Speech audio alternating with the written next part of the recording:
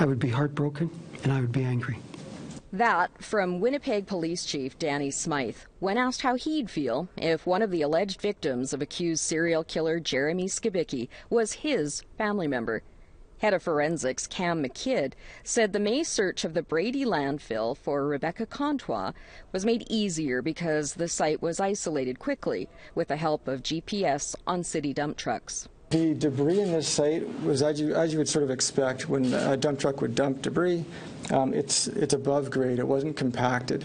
And it made this search, uh, the conditions for this search, um, a second landfill, Prairie Green, is heavily compacted with tons of clay, animal waste, and other debris dumped since investigators became aware of it as a potential site.